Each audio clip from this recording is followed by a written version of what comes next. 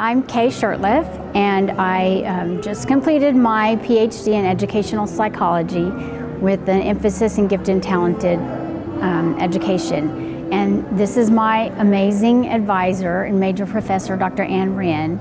Um, I have said this entire program that she is the best advisor in the history of all advisors.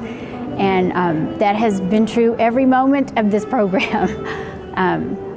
I have loved every second of this journey, truly. Um, and I, you have been the best cheerleader anyone could ever have wanted.